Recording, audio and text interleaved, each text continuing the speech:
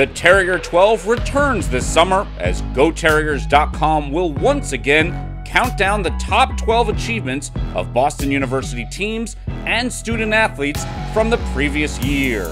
Coming in at number 4 in this year's Terrier 12 is women's basketball, highlighted by the program's first Patriot League regular season championship in program history. BU won 24 games in the 22 23 campaign, the second most in program history. The Terriers won 17 games in a row during Patriot League play, the fifth longest streak in Division 1 at its height, to become the third league team ever to go 17 1 in conference action and notch their fourth regular season title as a program.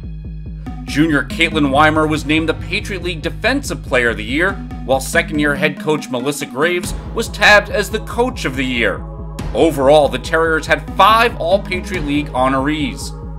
BU went on to host its second Patriot League championship game in three seasons and earned its fifth bid to the WNIT in program history.